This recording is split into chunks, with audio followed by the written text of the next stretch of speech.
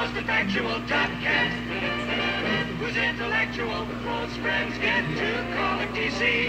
Providing it's with dignity. Intellectual, close friends get to call him DC.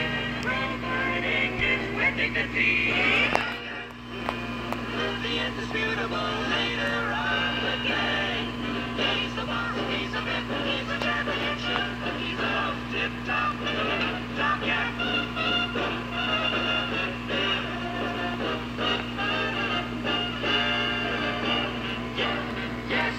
he's a king, but above everything, he's the most tip-top,